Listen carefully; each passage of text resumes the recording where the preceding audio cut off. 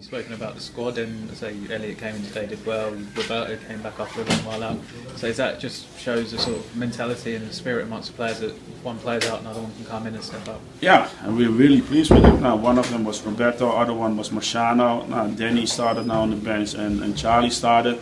Uh, Val started instead of uh, Jack, yeah. Jack Saville in the back. Uh, dus uh, yeah, we're re really pleased with that, and, and, and everybody is also hungry and uh, and positive, and that is good. You can also be disappointed.